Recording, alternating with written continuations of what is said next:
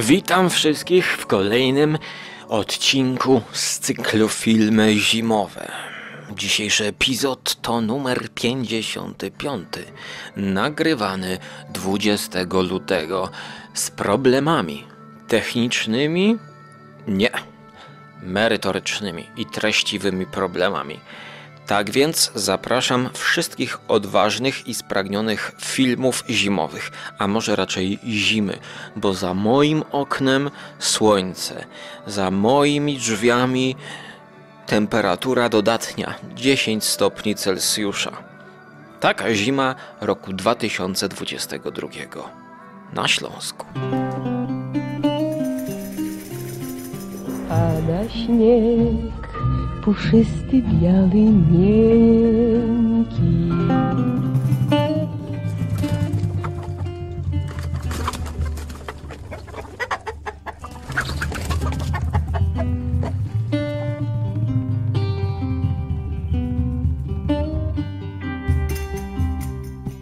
Zaczynamy również od porażki. Porażki recenzenta, który obejrzał kolejny film Ingmara Bergmana. Tym razem o jakże zimowym tytule Winter's Light. Winter Light. Ingmar Bergman, the most celebrated and distinguished filmmaker of our time, presents his first film since winning two Academy Awards. To produkcja z 1963 roku z znanymi aktorami, których e, kojarzycie z innych produkcji Ingmara. Oczywiście Max von Sydow, ale w głównej roli mamy Gunnara Bjornstanda, który gra Tomasa Eriksona. I właśnie, właśnie, o czym jest to film? To w polskim tłumaczeniu Goście Wieczerzy Pańskiej. Oczywiście pod takim tytułem było to dystrybuowane. Ten Winter Light jest znacznie bardziej zachęcający dla nas, miłośników zimy, ale sam opis mówi wszystko o tym filmie. A small town priest struggles with his faith. No i rzeczywiście, mamy tutaj historię księdza, który mieszka w małej parafii, prowadzi tę parafię, gdzie właśnie przychodzi do niego żona e, tego bohatera granego przez Maxa von Sydowa. Oni mają jakieś swoje problemy, a w dodatku ten tytułowy, nie tytułowy, przepraszam, ten ksiądz, który właśnie zmaga się z tą wiarą, to właściwie zmaga się z kobietą, z którą ma no nazwijmy to romans, tak? On nie wie, czy porzucić e, bycie księdzem, czy porzucić tę kobietę. On po prostu zmaga się z tym tematem. Bergman reaches new heights in dramatic achievement as he explores the life of a country pastor, his relationship with his mistress and the people around him. Więc napije się herbatki wietnamskiej, czarnej, którą mam tutaj zaparzoną w czajniczku. I właściwie mam tutaj kilka pączków. Pączków, ponieważ nagrywam to u babci. Babcia, jakie tutaj mamy pączki dzisiaj na tapecie? Oderwałeś mnie od czytania. O właśnie, co czytasz? Czy jest tutaj jakaś zima w tej powieści kryminalnej? Jest, y, jestem y, oderwana od, od teraźniejszości. Ale czy tutaj jest zima w tym czerwonym pająku? Bo babcia czyta obecnie książkę Katarzyny Bondy Czerwony pająk, czwarta tom sagi. Czy jest tu jakaś zima, czy kończymy rozmowę? Nie ma zimy. Nie ma zimy, w takim razie są pączki obsypane lukrem, dlatego zabieram takiego zimowego pączka i zmykam stąd do dalszej części audycji. No tak, nie zjedz wszystkich. Jak tu się powstrzymać? Szanowni Państwo, dlaczego sięgam po te pączki? Ponieważ wymiękam przed tym filmem. Jest to jeden z cięższych Bergmanów, jakie istnieją, który tutaj zaburzyłby mi całkowicie, nie wiem czy pogodną atmosferę tych audycji, ale dla mnie jest to jeden z cięższych Bergmanów. Nie będę go analizował, po prostu ja wymiękam. Chociaż w narracji jest znacznie łatwiejszy do oglądania niż na przykład 69 rok Riten, czyli Rytuał, mm, który to film był produkcją dla telewizji. I właściwie był takim teatrem telewizji. Więc tego filmu Rytuał to no, niestety już nie, nie, prze, prze, nie przerobiłem, bo usnąłem w połowie prawie, że. Zbyt min, minimalistyczny. Tutaj mamy narrację klasyczną. Ten ksiądz rozmawia ze sobą, z tą kobietą. I to tytułowe Winterlight to jest światło rzeczywiście, które wpada do tej kaplicy. Światło, takie czyste światło, które powoduje jakieś zmiany w głównym bohaterze. Tak to tytułowe światło to jest to takie czyste światło, którego notabene sam Bergman ze swoim operatorem Svenem Nykwistem wiele e, szukali, tak. Zanim oni to kręcili w tym konkretnym kościele, robili dokumentację, co nie jest niczym nowym, ale długo się przykładali, aby to światło zimowe pokazać. I to jest w tym filmie, który dzisiaj możemy oglądać w zremasterowanej wersji. Ja temu dałem 7 na 10. Polecam zdecydowanie. Jest to o wiele lepsze niż farsa Bergmana o tych paniach, której się nie da oglądać i tak samo Rytuał, który jest teatrem telewizji, do którego trzeba mieć e, podejście takie, jakby się szło do teatru, ponieważ mało jest tam wizualiów. Natomiast tutaj jak najbardziej te wizualia są, aczkolwiek zima pojawia się dopiero w jednej trzeciej filmu, pod koniec. Starring Gunnar Bjornstrand as the pastor, struggling to find God and love in a winter world. Mówię o tym wszystkim dlatego, że przygotowałem coś lepszego. Coś, co będzie takim wyjątkiem może w tej serii, ale będzie czymś, no takim, taką, nie wiem czy perełką, ale czymś, no o wyjątkowym. To jest właściwie dobre słowo, nie ma co szukać dalej, ponieważ mam w swoich rękach, tutaj nagrywając ten odcinek u babci w domu, magazyn fotograficzny za który zapłaciłem 15 zł to cena okładkowa, ale ja zapłaciłem 50 groszy w antykwariacie, bo to 12 numer magazynu Foto, wydany w 75 roku. Oczywiście kupiłem go dlatego, e, bo są na nim ośnieżone szczyty gór. Kupiłem go dobre lata temu w antykwariacie i teraz, kiedy coraz mocniej wchodzę w świat fotografii, kiedy kupiłem sobie aparat do, specjalnie do fotografowania, to żałuję, że wtedy nie wziąłem wszystkich magazynów, jakie były tam dostępne, ponieważ po 50 groszy była tego cała sterta i nikt tego nie chciał. A są tu perełki. Wtedy kupiłem to właśnie pod góry i zimę. Bo co mamy na okładce? Otóż mamy fotografię jednego ze szczytów, o których już była tutaj mowa w naszej serii. Mianowicie Lotse. Lotse. Lotse to dodatek do gry planszowej K2. Niestety wciąż nie udało mi się zagrać w tę mapę, a było blisko, ponieważ zabrałem już do klubu mm, ten dodatek Lotse. E, przeczytałem instrukcję, byłem gotowy wytłumaczyć stałym współgraczom i okazało się, że przyszła nowa koleżanka, która przyniosła ze sobą polską grę pod tytułem Kolejka. Wypadało wtedy właśnie zagrać w to, co ona przyniosła. Mm, no, szkoda, że potem już się nie pojawiła kolejny raz, a ja wciąż nie zagrałem. Ale właśnie to Lotse świetnie by się nam łączyło z planszówką planszówce kończę, ale to lotce w grudniowym magazynie Foto jest wprowadzone poprzez postać polskiego fotografa himalaisty. Mianowicie mowa o Mirosławie Wiśniewskim. Mamy tutaj wywiad z tym fotografem pod tytułem Świat nierealnych barw i granic. Mamy rozkładówkę dodatkowo w środku. Rozkładówkę z jego zdjęciami właśnie z Locy. Te zdjęcia i te fragmenty, które ja omawiam, łącznie z okładką tego magazynu, są dostępne na grupie dla patronów, ponieważ ta audycja właśnie jest sponsorowana przez e, nieliczną grupkę miłośników audycji skóry i różnych tutejszych naszych produkcji pobocznych. Dlatego ja to zeskanuję i wrzucę właśnie, żebyście wiedzieli o czym mowa, no bo to jest 75 rok, nie wiem czy to jest dostępne w internecie. To co pierwsze rzuca się w samym centrum naszej gazetki, format A4, to właśnie Polacy na lotce, fotografia Mirosław Wiśniewski. Mamy tutaj tak. Bariery lodowe, mm, zdjęcie pod tytułem Doliny Milczenia. No i tutaj widzimy zdjęcie i szerszej panoramy, i takich detali śniegowych, takich dolin. Po środku stoi mężczyzna w czerwonej kurtce. Widać, że jest to teren niebezpieczny, że jest to już ekstremalny sport, wchodzenie na to lotce.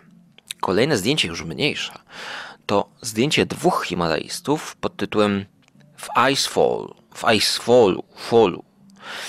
Dwóch Himalajstów, którzy mają na plecach zamontowane niczym plecaki żelazne drabiny.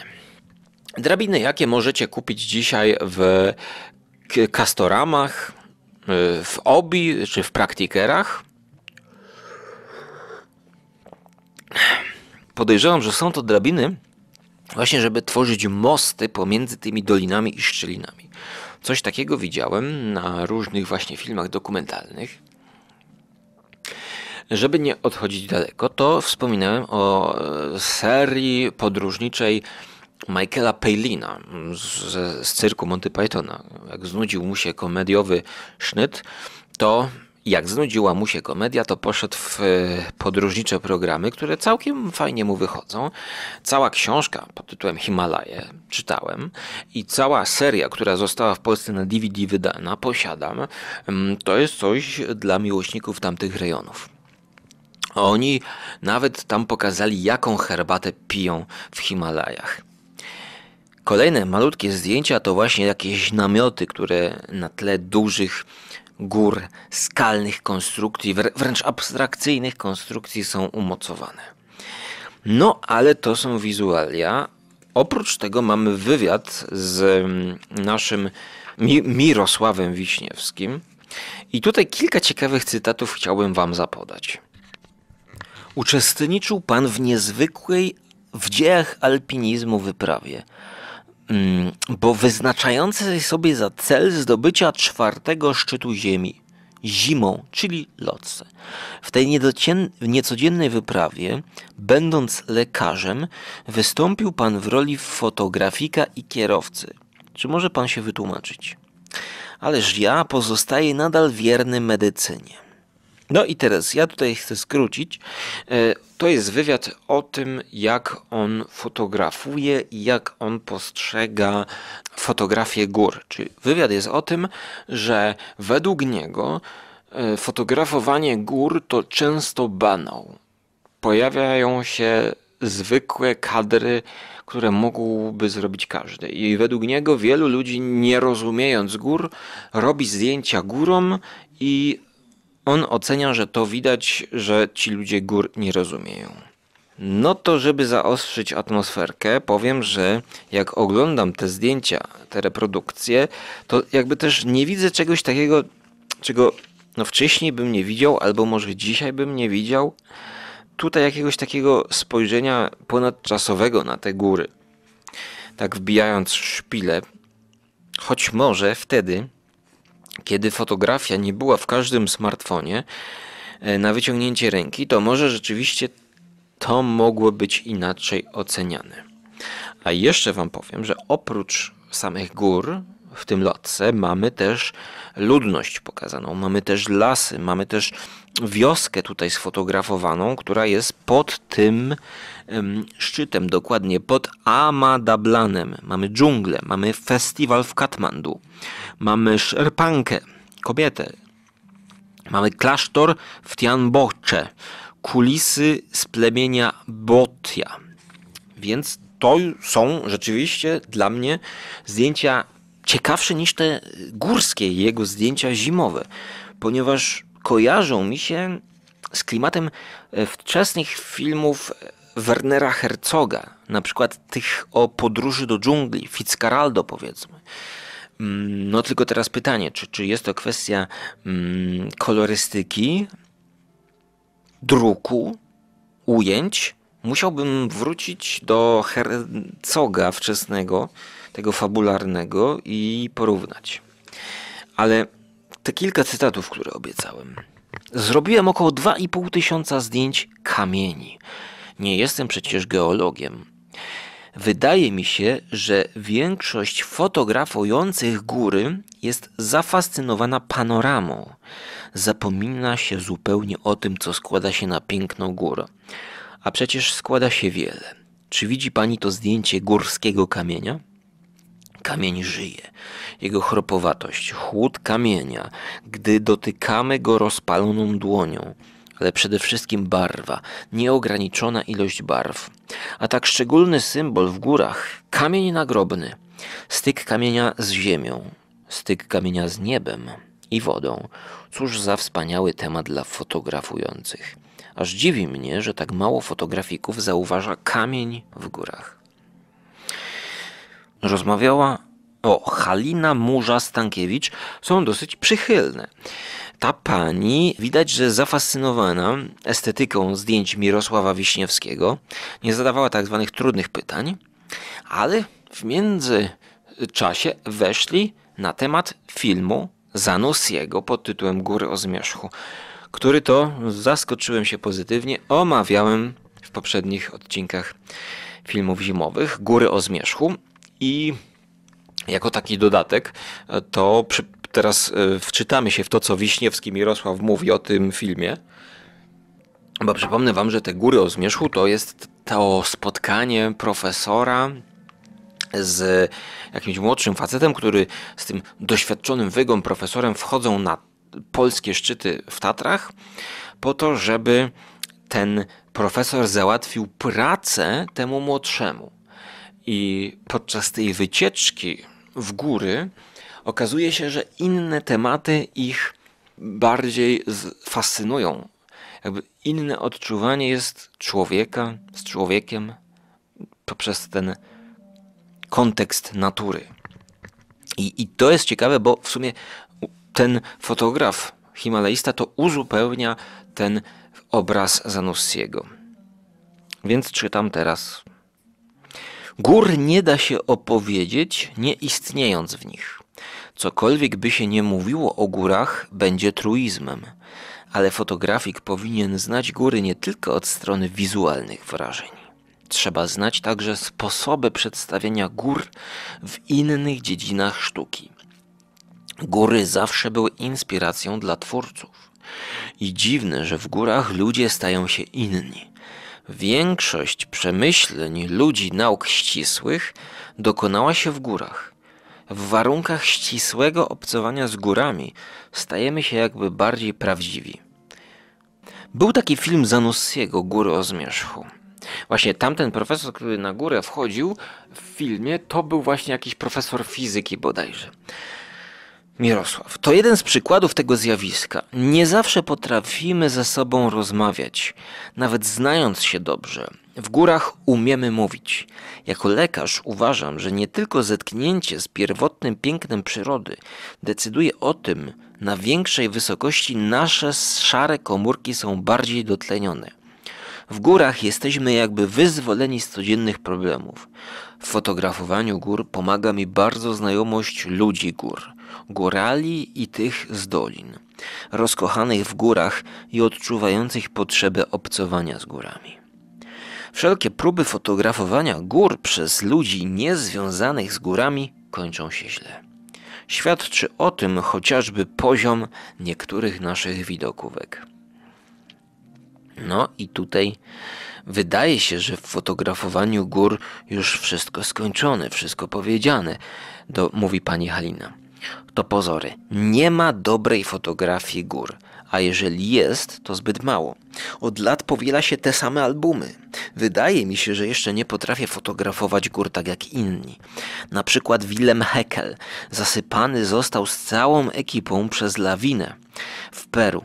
Z jego zbiorów przyjaciele stworzyli album. Cóż za wspaniały obraz fantazji i talentu fotografika. Czy zauważyła pani, oglądając zdjęcia gór, jak ogromna jest zbieżność tematów? E, I tutaj już zakończę ten motyw y, fotografii gór. Ten wywiad też będzie zeskanowany na grupie dla patronów, ale powiem to, co on mówi ciekawego, że jeżeli zdejmie się w górach powyżej 5000 metrów okulary, to traci się wzrok.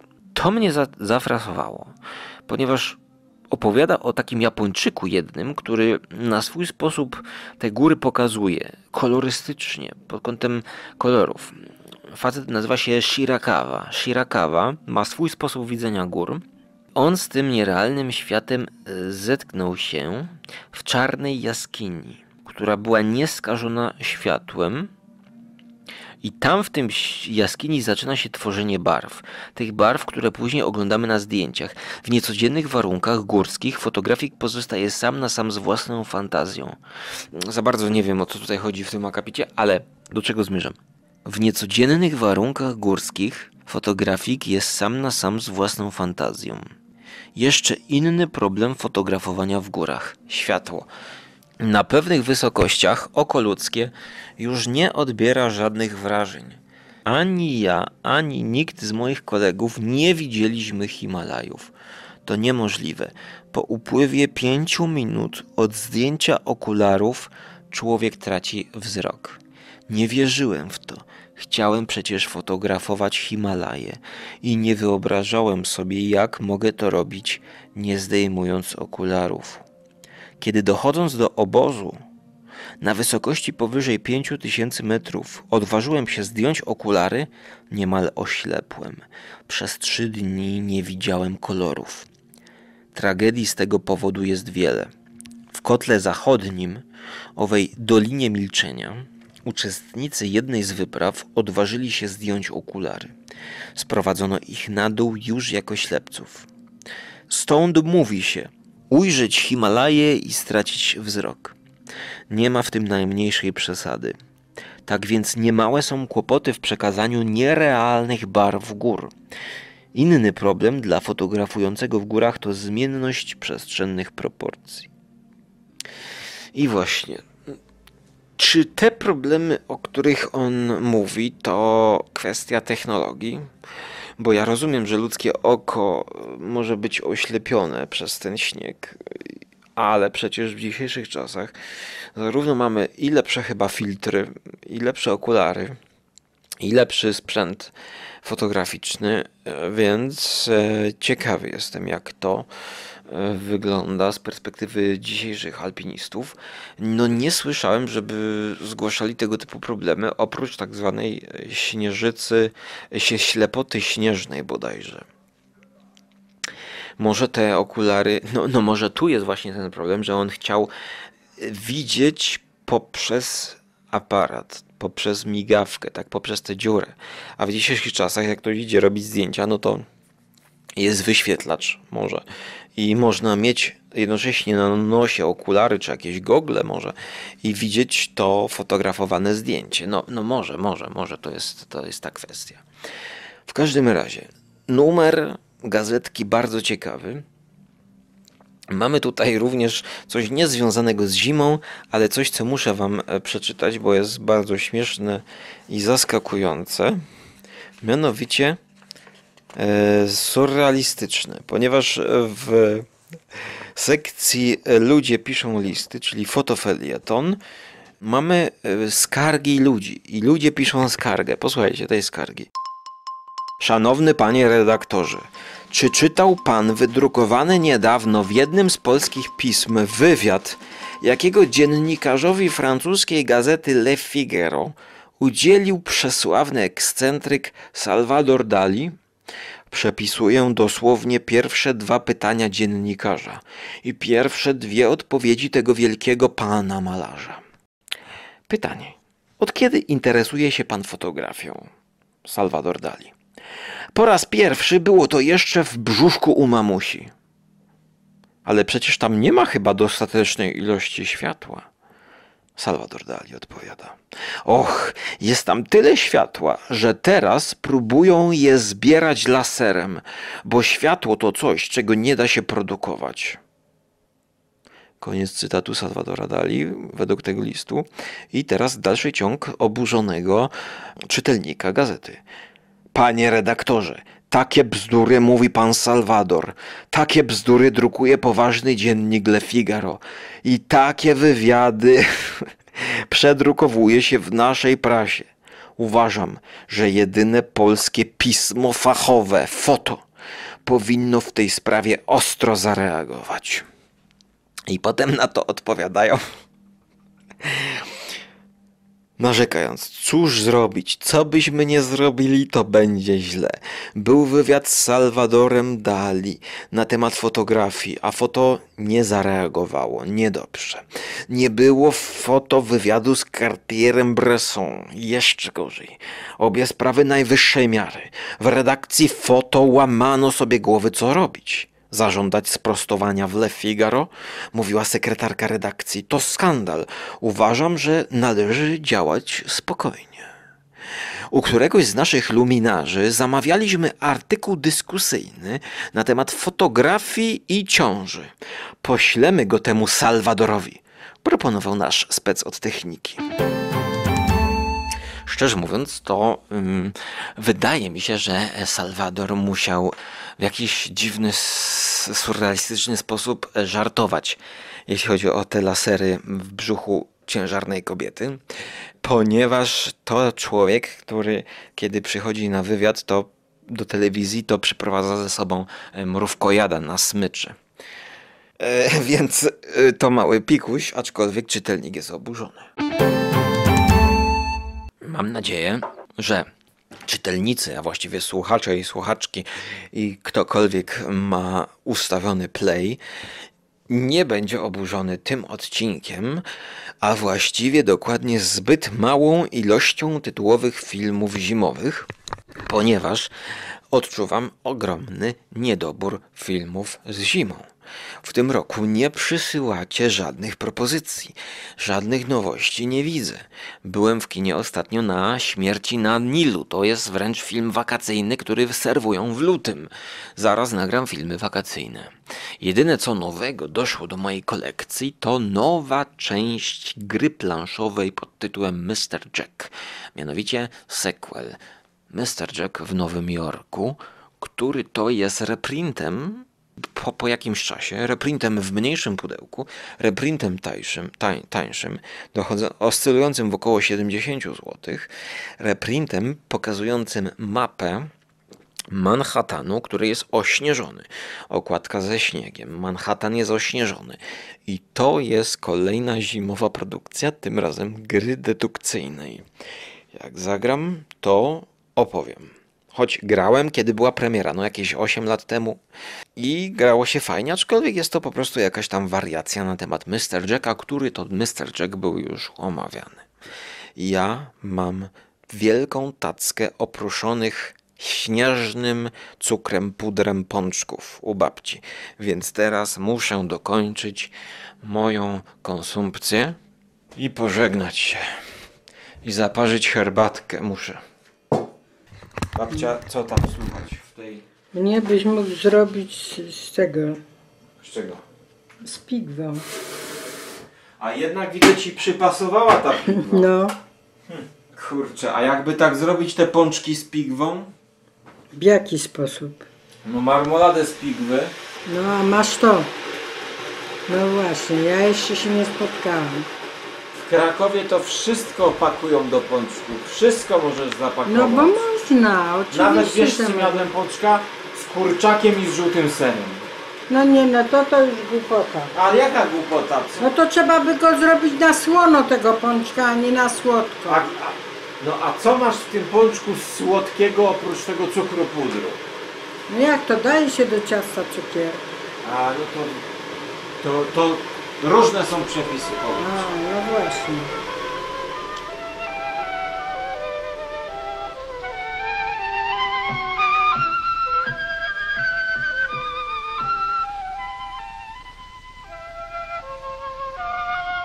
The extraordinary and brilliant talents of Ingmar Bergman creating this newest masterpiece of the motion picture art.